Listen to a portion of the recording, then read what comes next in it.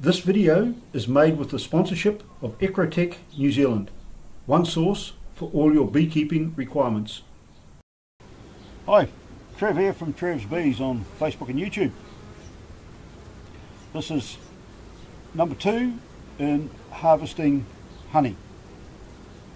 And today um, we're going to show you, we've, we've be, just been through that hive. If you have a look at the previous video that we put up, we've just been through these two boxes and checked it for disease to make sure that we are allowed to harvest honey.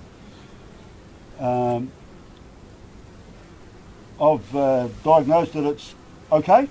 So now the next job is to get in here and um, get this ready for harvest. Now a few months ago we made a video of bee escape boards. Now these boards uh, have got a one-way system so the bees can come in through the hole here and out through this little entrance to go back down into the hive. So it goes that way. So coming out of the honey boxes, the bees will go down there, come out here, and then they can't find their way back in because they can smell the honey through here. They know that there's honey upstairs. They want to go up there, but they can't because they try to go through there and they can't work out that the doorway's over here. So that's the escape board that we're going to put on today. This is going to be a relatively short video.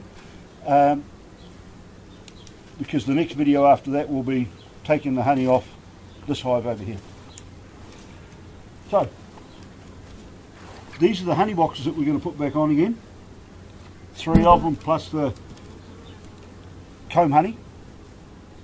Um, and we're just going to harvest that as normal.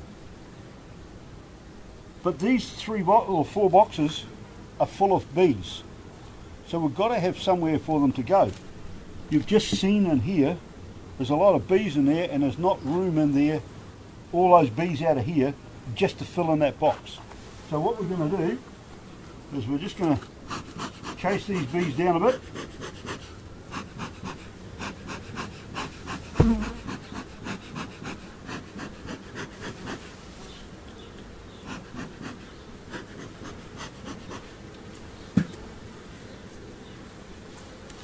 this is a I'll just put that on here in the meantime.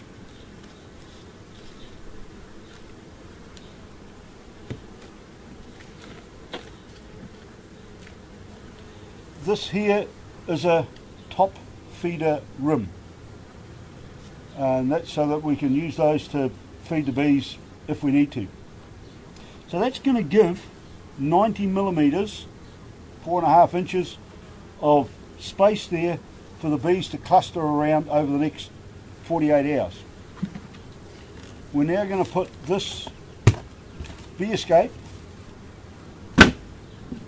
on here like that. Any bees that come down and want to get out to go and do their morning toilet will go down here and into the uh, and into that space down below. Alright, clear as mud.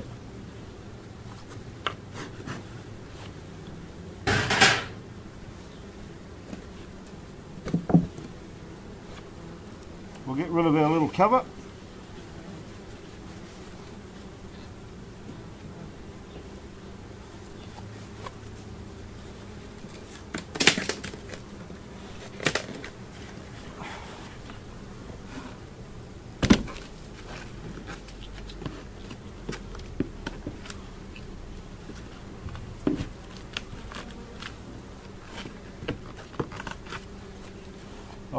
So that's the first box on. And just to see, so you can see what we're talking about.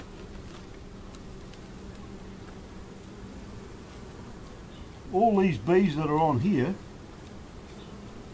will end up down below that bee escape.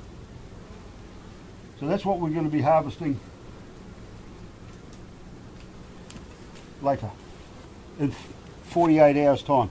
I like to leave the bee escapes on for 48 hours.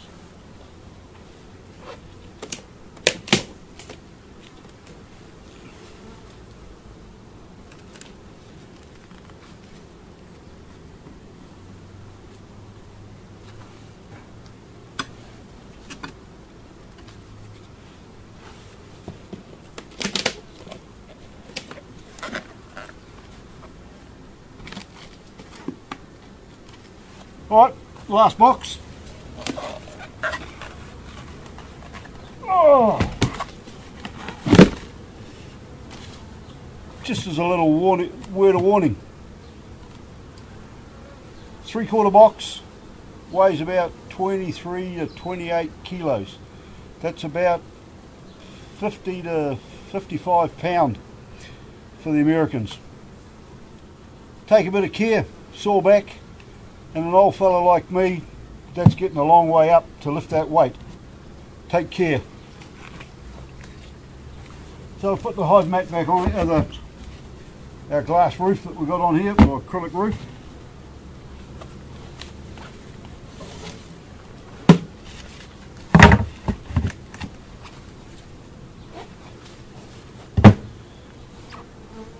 And that's it for bee escapes.